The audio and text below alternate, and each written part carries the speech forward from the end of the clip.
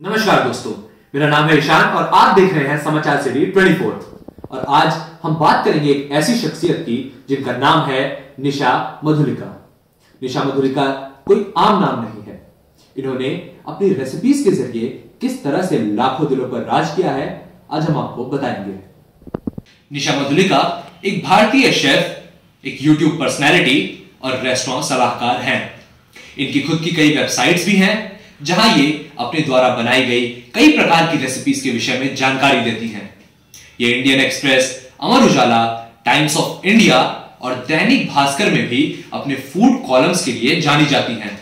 लेकिन ऐसा बहुत कुछ है जो आप सब इनके बारे में नहीं जानते। आपको बता दें, मूल रूप से निशा उत्तर प्रदेश की रहने वाली है। 25 अगस्त उन्नीस सौ उनसठ में इनका जन्म हुआ था। फ़िलहाल निशा मधुलिका नोएडा में रहती हैं। निशा मधुलिका की एक अनकही बातें जो आप सभी को नहीं पता है। निशा भारत के यूट्यूब पर एक ऐसा नाम है, जिन्होंने घर बैठे अपनी सिर्फ़ किचन में काम करके लाखों दिलों पर राज किया। ये एक भारतीय वेज रेसिपी शेफ है, जो भारत में अपने पकवानों और वीडियो के लिए जानी जाती हैं।